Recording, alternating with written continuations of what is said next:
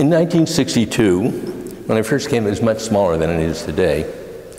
I believe there were 1,100 students total uh, in, in the day and evening classes, which are all held in what is now the East Campus, which was formerly the Industrial Arts and Home Economics departments at uh, Santa Barbara State College and then University of California, Santa Barbara College. And we had one permanent building, which is now the administration building, uh, which had been built in the 1930s as a uh, old a New Deal Works Project Administration WPA building. But the collegiality that marked the uh, college faculty and the relationships with the students, the group of instructors who came, uh, I was one ninth of them, and this was the largest intake group in the history of the college up to that time. Uh, we were, as I mentioned, quite close to the students Every uh, academic faculty member was expected to do a lot of things that were not the case uh, about the time I retired. We all met with the students seated in the uh, cafeteria, which was small, badly ventilated, and dingy, uh, on uh, more or less picnic benches. And we would talk with the students, um, advise them as to major opportunities thereafter uh, their two years and uh, classes that they might take. And we got to know a lot of students really quite well. And then in the break, after the uh, session uh, in the morning, we'd all eat uh, brown bag lunches, except for those who were brave enough to risk the cafeteria food. Uh, and we'd sit around and uh, chat with one another, so I got to know geologists and um, uh, poetry professors as well as plumbing professors. Uh, the reason I came was I had taken a summer session class to try to use up my Korean War GI Bill at UCSB, and the instructor was Joseph Cosand, who happened to be the director of Santa Barbara City College because it was not until his last year, which was the year before I joined the faculty, uh, that uh, the uh, head of the college was not a director but the president. And he had sent me notes encouraging me to come. And at that time, I was a coach at San Marcos High School, a third time counselor there, a third time faculty member. And I was offered a job uh, at a counselor at City College, also teaching history. They were pretty low tech, but again, it was a low tech type of instruction uh, in 1962. Uh, many of us were um, in small offices, maybe four feet wide and 10 feet long, two people. Uh, and one student could come in be, be, because the two desks and the two filing cabinets we were allowed, there was only room for one student to come. Uh, all of us were uh, involved in uh, extracurricular activities, going to student dances, participating in supervising intramural activities. But with nine different preparations, uh, my first year, uh, two small children at home, uh, and working on, a, on my PhD, any hours, along with going to Air Force required reserve meetings, Uh, it was a very busy time. Uh, in my 32 years here, uh, as a full-time employee, three presidents stand out, and then some faculty members stand out, and a, a, vice president as well.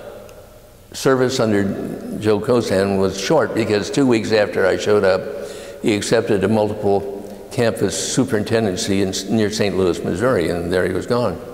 Uh, the assistant superintendent of the Santa Barbara City Schools, Douglas White, who was really a nice guy, and who actually recruited me to be a teacher and coach uh, in the local high schools, uh, became uh, the acting president. Heavy lifting uh, fell on the shoulders of Marie Lantain, who was the uh, dean, they didn't have vice presidents then, of uh, student, pupil personnel, and Robert Kassir, who was the dean of instruction. Bob Kassir was a neighbor we started playing tennis as soon as I came here, and uh, until his Uh, injuries uh, got so great we continued playing tennis for the next uh, 50 years. Uh, they did all the heavy lifting, and so I have to say without doubt, through the um, very much of that first year, they were the major players.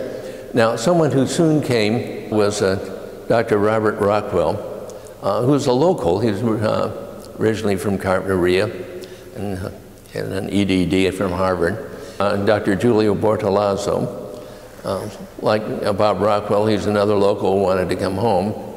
Uh, he had been a very successful Northern California president superintendent and uh, uh, was a bit of a spellbinder uh, and was able to pass a major bond issue to enable us to have the West Campus and improve some of the older buildings, which are, quite frankly, uh, pretty decrepit even in the time when he joined uh, the uh, complement here at City College. He was only here a year, uh, and he went on to be the head of the technical and community colleges in the state of South Carolina. But uh, what a difference. Uh, some people called him Hurricane Julio because he was um, a man of considerable bombast and a great deal of ability to speak. the last superintendent president who was here was Peter MacDougall, who was an extremely able guy, and I think in almost every way possible gave this college terrific, uh, terrific leadership. Uh, Bob Kassir really didn't like being an administrator very much. He decided that he re his real interest in education was to be an educator uh, rather than a, an administrator. This is not to say that administrators don't have uh, important functions. And he returned to being a political science uh, teacher, and he was very, very good at what he did. His standards are high, lectures are beautifully organized, always had time for students. and he had a certain charisma about him, uh, as one might think, because he was a three-year varsity basketball player at UCSB and president of that uh, institution as well as um, uh, Santa Barbara High. So he's got a bit of a local legend. And he was the sort of uh, instructor I re always really wanted to be. Uh, Hank Bagish is another one of the major players. Uh, it was Henry who came to my classroom at San Marcos High School, uh, evaluated me, and then told me he was going to recommend me to Joe Cosand uh, uh, to join the faculty as a history teacher. Henry served here about forever, and it, it, was his role, not only being a fine teacher, but an innovator. Uh, it was he, along with Bob Kassir, developed large classes and uh, provided uh, clerical support for them. He worked on self-guided one-unit classes and was the, one of the two founders of the Academic Senate. And in that role, helped to provide for, at first, shared governance, but academic governance. He uh, led the charge for a sabbatical leave policy that uh, was one of the finest amongst all the California community colleges. Sam Wake. Uh, Mr. Wake was the director of what was then called adult education, now known as continuing education. And when the city schools uh, spun off City College, no one really quite knew what to do with the adult education which was considered perhaps the best one in the entire United States. Uh, Sam Wake, uh, who had an advisory council of hundreds of people and was um, a heavy hitter in the community, uh, elected to go with the new community college district.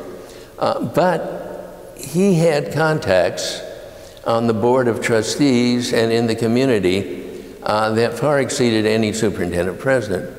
And um, quite frankly, we loved having him there because he was great when it came to bond issues.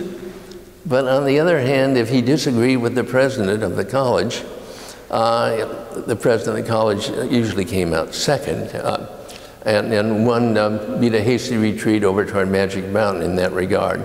Uh, so um, he's gone, uh, but he did write a history of Santa Barbara City College. A third component, I think, that made Santa Barbara City College particularly uh, uh, memorable to me, and that was the students. The students were obviously far fewer in number, far less diverse. Uh, of course, uh, then as now, all you have to be is 18 years of age and uh, profit from education. That's what state education code said. One of my wry comments uh, that I heard, I didn't initiate it, uh, from one of my colleagues was the primary requirement to get in Santa, Santa Barbara City College was the ability to turn left off Cliff Drive. Uh, and so uh, we had older students, to be sure, retirees, but mostly high school students uh, from the local district. Uh, and through the, uh, I should say about 66, uh, the first four years of my tenure here, because there are a lot of Korean War veterans or people who had mandatory military service. Uh, and I was young, uh, seem young now, at uh, 29 or 30. A lot of these uh, students were about my age. Uh, some were older. Uh, some of the retirees called me Sonny. All right, and it was so there was a shared feeling of experience. it was a group of students who were not very uh, politically aware, not very confrontational, somewhat careerist in interest. Uh, there wasn't really a huge attempt to recruit uh, disadvantaged uh, minority groups at that period of time. Then came uh, the 60s. Now, I went away to UCSB uh, to write my dissertation and to work there one year, 65, 66. I came back and it was like a different world. Uh, in 66 and the 70s that followed, uh, the students were very politically active. Uh, we had the uh, influx of many students from around the world, and so the student body became very diverse. In many ways, a much more interesting place. Uh, the faculty worked hard at recruiting uh, the various trustees because, of course, there are geographic trustee areas and we knew people in the community and uh, encouraged them to run. Uh, actually, uh, uh made calls of neighbors and friends to encourage others to, uh, to elect them. Many of the people, such as Dr. K. Alexander, uh, served for many, many decades in a dedicated way without pay. I enjoyed coming to work every day because most of my relationships with students was very positive, and to see them uh, master of what I had to offer in terms of being a history teacher, is also uh, work with them in any other ways, providing scholarship. And some of my students went on to Harvard and Stanford and Cornell. Uh, others uh, uh, went uh, elsewhere. But I knew that by writing letters of, re of recommendation or supporting them for scholarships, I think I might have made a difference. Uh, the, the, last thing I'd like to point out is this is just such a beautiful spot. Uh, I just, every morning when I would um, uh, ignore the 40 mile an hour speed limit on Cliff Drive uh, and come to work uh, and pull in the parking lot, I'd look out at the Channel Islands. I'd look at, out at maybe a fifth of my students surfing at Leadbetter Point, and say, gosh, am I lucky to be here.